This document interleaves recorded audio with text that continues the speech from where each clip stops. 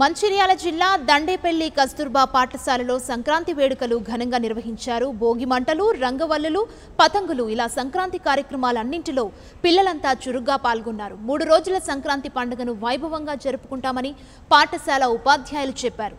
గంగిరెద్దుల ఆటలు సాంప్రదాయ వంటలు ఈ పండుగ ప్రత్యేకత అని అన్నారు.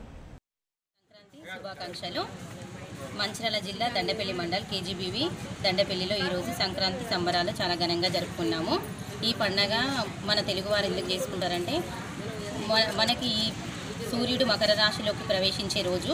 అంతేకాకుండా ఈరోజు ఈ సంక్రాంతి పండుగ వరకు ప్రతి రైతు ఇంట్లో కూడా ధాన్యం అనేది ఇంటికి చేరుతుంది.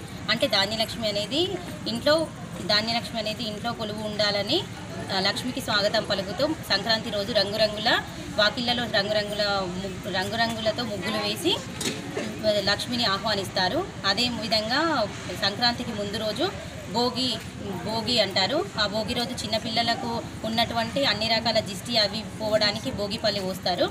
మళ్ళీ తెల్లారి సంక్రాంతి రోజు కొత్తగా వచ్చి కొత్తగా పెళ్ళైన వాళ్ళకు వా- ఆడపడుచులను ఇంటికి ఆహ్వానించి బట్టలు పెట్టడం అలాంటివి సాంప్రదాయంగా చేస్తూ ఉంటారు.